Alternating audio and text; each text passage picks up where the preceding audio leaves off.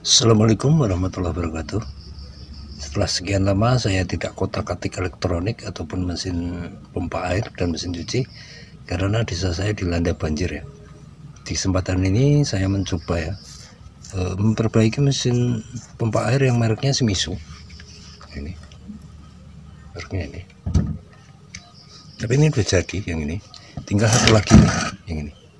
Nah kendalanya adalah jika dihidupkan hidup. Tapi untuk mesin cepat panas ya. Mungkin hanya tiga menit setelah itu mesinnya panas banget nah setelah saya bongkar dalamannya ini semua. Nah ini bentuknya seperti ini.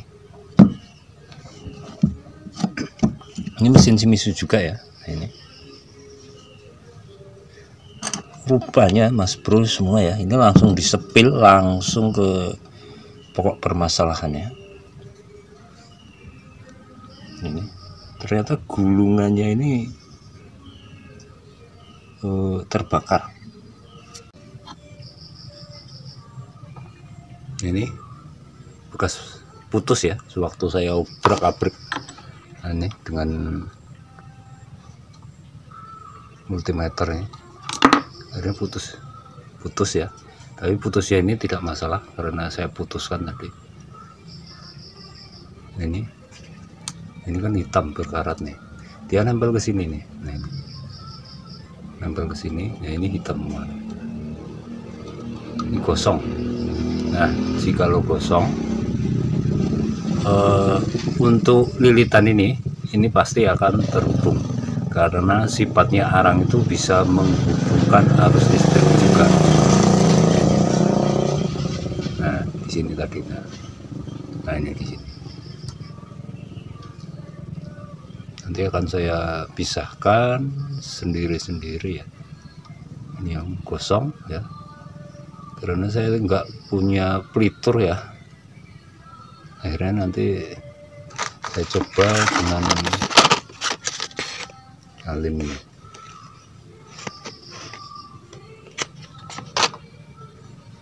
Ini banyak ini di sini nah penyebabnya ini ini adalah bagian starting kalau tidak salah. Yang ini ini jalurnya jalur kapasitor sudah saya tes tadi.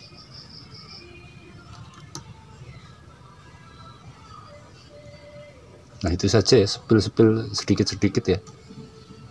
Siapa tahu ini bisa bermanfaat bagi kita semua dan nanti kita lihat hasilnya setelah saya lem ini seperti apa ini sudah saya lapisi dengan lem Dexton lem C. Ini yang kosong-kosong ya.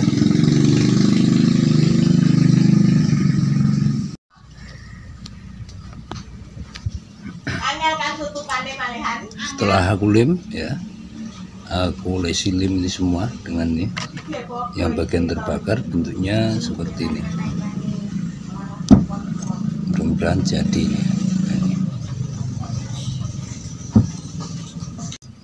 Untuk kerennya sudah saya pasang. Cuma untuk impeller dan lain sebagainya ini belum.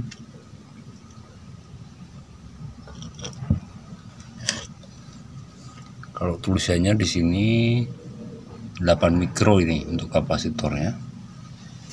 Ini dia sudah ganti. Nah sewaktu ganti langsung kebakar ya gulungannya ini 10 mikro. Ini seharusnya dicarikan yang 8 mikro ini malah 10 bisa sih bisa cuma pasti tetap ada efek sampingnya. Entah itu terlalu panas entah itu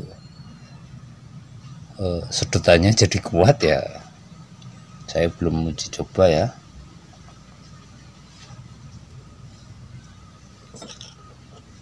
Nah ini kita colok ya. Setengah menit saja.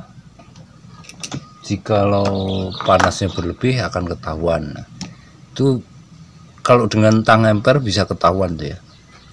Kalau satu ampere berarti ya normal. Kalau di atas satu ampere entah satu ampere setengah berarti ya tidak normal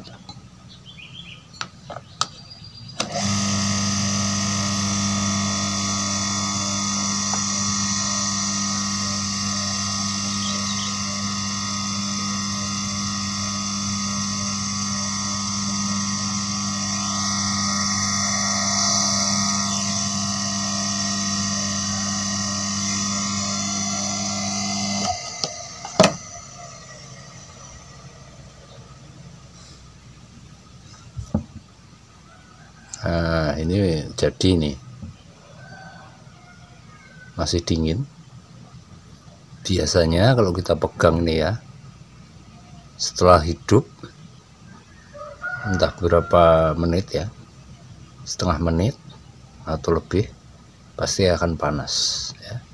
Ini enggak panas berarti cara saya mengakali pompa air misu ini berhasil dan mohon maaf bila salah penjelasan dan kamera kami goyang-goyang. Itu kalau penjelasannya kurang memang kesalahan dari saya. Akhirul kalam. Wassalamualaikum warahmatullahi wabarakatuh